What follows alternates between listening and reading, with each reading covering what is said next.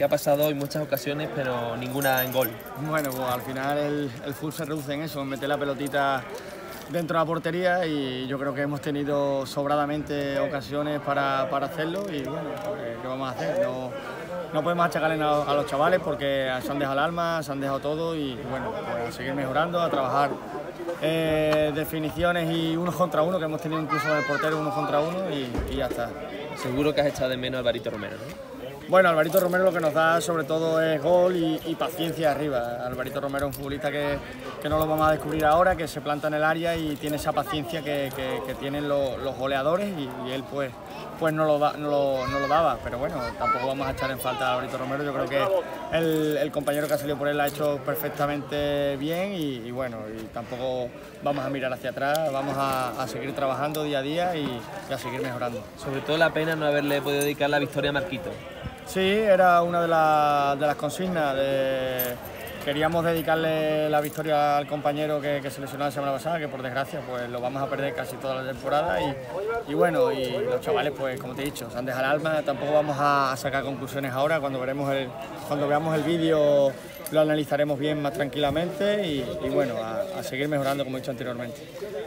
Termináis de, de cuajar un buen partido en, en casa, que quizás tenéis una asignatura pendiente, ¿no? Sí, era una de las asignaturas pendientes, yo lo, lo he hablado con los chicos, que, que necesitamos una victoria buena, con, buenas sensaciones en, eh, aquí en la ciudad deportiva, pero al final pues, el otro equipo también juega, te lo pone complicado y yo creo que todos lo hemos visto. Si hubiésemos metido la, primera que hemos tenido o la, segunda, pues yo creo que el partido hubiese sido mucho más tranquilo, hubiese, se hubiese puesto mucho más de cara, pero bueno, al final el fútbol es eso, eh, entrar la pelotita en la portería y, esta vez pues no hemos tenido esa fortuna, no hemos tenido esa paciencia o esa tranquilidad eh, de cara a portería y, y ya está, y no, no, vamos a sacar muchas más conclusiones.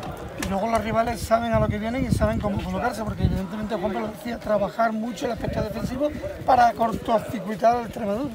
Sí, ellos venían a replegarse atrás, a hacer un repliegue intenso bajo y, y bueno, nosotros también sabemos ya que lo, los rivales nos van a jugar todos así, pero bueno, nosotros tenemos que eh, contrarrestar eso, tener mucha movilidad y, y, bueno, y tener buena salida de balón, que, que, a veces creo que no ha sido la buena y, y eso pues hay que seguir mejorando y, poco a poco pues se irá consiguiendo. Y ya está, tampoco eh, los chavales están, están fundidos físicamente ahí, están, están dejado el alma, lo hemos visto hasta el final, hemos tenido ocasiones eh, los últimos minutos y yo creo que, que tampoco dar la enhorabuena por el trabajo y, y, ya está, tampoco vamos a sacar muchas más conclusiones, que, que vea, cuando veamos el vídeo pues corregiremos errores y ya está. De todas maneras, al menos cuando la cosa, bueno, pues de esa manera que no consigues hacer gol, como poco el que no te los hagan a ti, ¿no? También el mantener la portería cero, ¿no? Sí, eh, era también una de nuestras asignaturas pendientes, quedar la portería cero y yo creo que, que llevamos dos semanas con portería cero, eh, bueno, tres, eh, contando por lo nuevo aquí en casa, llevamos tres semanas con portería cero y yo creo que, que eso para los chavales pues también le da, le da, le da motivación para, para, que los partidos pues se nos pongan un poco de cara si dejamos la portería cero.